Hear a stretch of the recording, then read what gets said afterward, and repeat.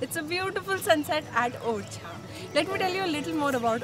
यहाँ पे राम जी कभी भी भगवान की तरह नहीं थे यहाँ पे उनका दर्जा था राजाओं के जैसे This is a beautiful place full of rich history and good culture and heritage. It's a must visit.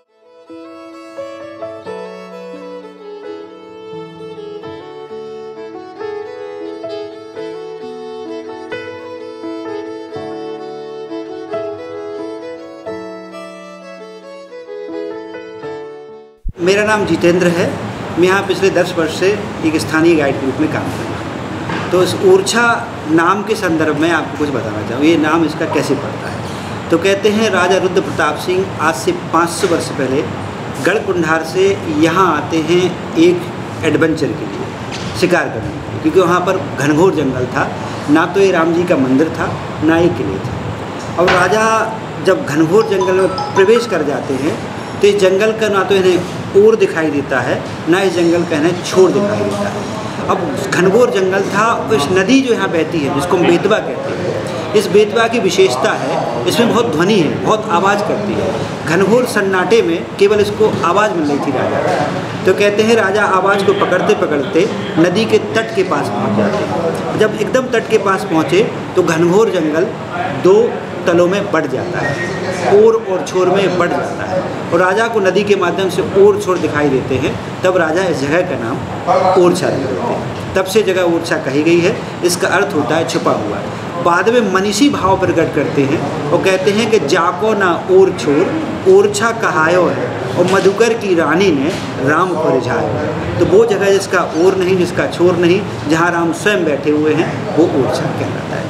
We are here at Jahangir Mahal यहाँ से अभी हमने सनसेट देखा है और मून राइज होते हुए देख रहे हैं। It's a very spectacular majestic palace a fort which is just one of its kind और यहाँ पे सनसेट के टाइम आना सबसे बेस्ट है। यहाँ पे चारों तरफ़ चिड़िया ही चिड़िया हैं जो आपके एकदम पास से गुजरती हैं और आपको बहुत ही खुश कर देती हैं। उसी के पास यहाँ पर एक दूसरा महल भी है और उसके सामने मंदिर है, जहाँ से आपको बस रिच हेरिटेज रिच कल्चर की लाइन से फोर्ट्स ही फोर्ट्स है। आपको यहाँ पे आकर बहुत अच्छा लगेगा। और आपको ज़रूर यहाँ पे आके गाइड लेना चाहिए, जिससे आपको यहाँ की पूरी हिस्ट्री के बारे में पता पड़ सके। कुछ तो है ये पुराने मॉन्यूमेंट्स में। ये इतने सालों बाद भी उतने ही मज़बूत, उतने ही स्ट्रॉन्ग और उतने ही ब्यूटीफुल रहते हैं। यहाँ पे जो ये लक्ष्मी मंदिर है, इसके आप टॉप तक जा सकते हैं। ये बेस्ट चीज़ है यहाँ की कि आप सबसे ऊँची इसकी खिड़की से भी पूरा व्यू देख सकते हैं और आपको पूरा ओरछा यहाँ से दिखेगा। और ये बहुत ही प्यारा सा मंदिर है और एक मोन्यूमेंट भी।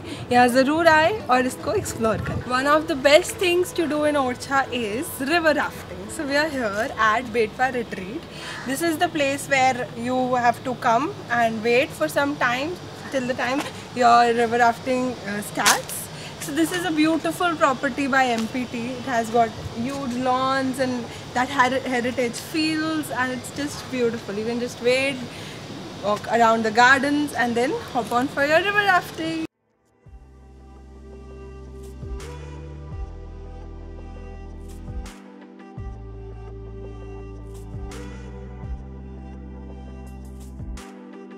We are done with river rafting. This was the best, best experience of Orsha. You should definitely try it. It's just 2500 per raft and it's such a beautiful river with very good sightseeing. So we are staying at Orcha Palace Hotel and Convention. It's huge, it's nice and it's beautiful. Show you the basic standard room at Orcha Palace Hotel and Convention Center. This is uh, the standard room which costed us around 5000 when we booked it online through Make My Trip.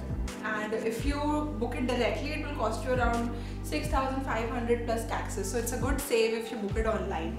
And this is how it is.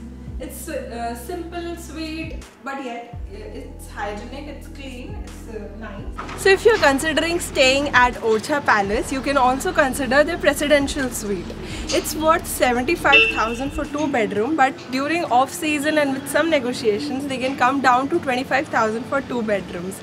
And you can just consider it and feel like a royal highness. Also, there are a few more uh, properties that you can consider. Amar Mahal being one of my favorite. It's very nicely built and it has got the view of the Chhatris and it's closer to all the monuments as well. So we were here at Amar Mahal for our lunch and the lunch was really yummy. You should also visit the restaurant. Also we wanted to stay at this property. This is a beautiful property with the luxurious palace feels and it's very nicely built and very nicely maintained as well. You should definitely come here for a stay.